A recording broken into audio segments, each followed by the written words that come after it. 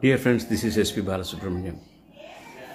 Since about in the morning, I, I got about 20 calls asking about the welfare of Janaki Amma.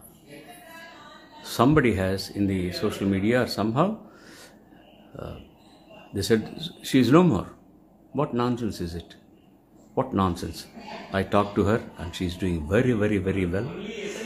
You see, what, what happens is if people love some artists to the core, they may have a heart attack.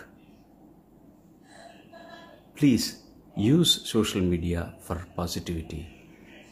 Don't make fun of these things. Don't utilize social media for uh, adverse things. Please, long live Janaki Amma. She is very safe and she is very healthy. Yeah, why do you do all these things, gentlemen? Shall I call you gentlemen? God bless us all. Hi everyone, this is uh, SP Balasubramaniam. Since two three days, I was having little discomfort.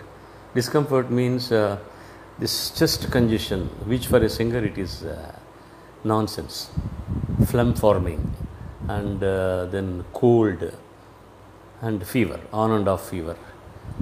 These three things, but otherwise I didn't have any problem. But I didn't want to take it uh, easy, so I went to the hospital and checked.